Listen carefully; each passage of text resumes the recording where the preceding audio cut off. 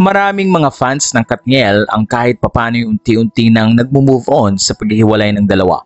Pati ang mga celebrities ay nalungkot din pero marami din ang nagsasabi na hindi na dapat pang panghinayangan ang relasyon ng dalawa dahil nakatulong din ito sa kanila. Makikita din na nagmo-move on na si Catherine at Daniel. Ipinakita ni Catherine ang kanyang bagong kulay na buhok at tulad ng dapat mangyari, kailangan mag-focus si na Catherine at Daniel sa kanilang mga career at personal na buhay dahil marami pa ring mga fans ang naghihintay sa mga gagawin nila. Hindi man nagkasama ang dalawa pero ipinapangako nila sa isa't isa ang suporta.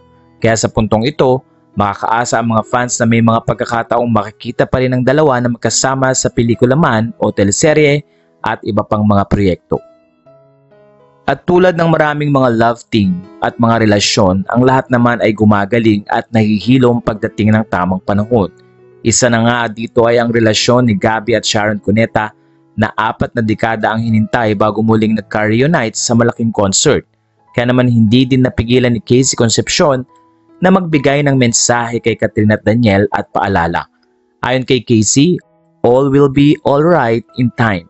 Kasama ng nasabing post ay ang photos ni Catherine at Daniel, Liza at Ken, James at Nadine at pati na rin si Sharon at Gabby. At tulad ng sinabi ni Casey, sa paglipas ng panahon ay magkakaroon ng complete healing. Kaya naman hiling ni Catherine na samahan siya ng mga fans sa healing journey niya. Hindi lamang si Catherine ang dapat mag-heal, pati na rin si Daniel at ang kanilang mga kaibigan at pamilya. Sa puntong ito ay maraming mga Katniel fans ang nagpasalamat kay Casey sa pinakita nitong suporta at prayer na alam niya sa bandang huli ay magiging maayos din ang lahat at makikita ang bunga ng bawat pinagpaguran pati na rin ang healing habang sila nga ay patuloy na naglalakbay sa buhay na ito.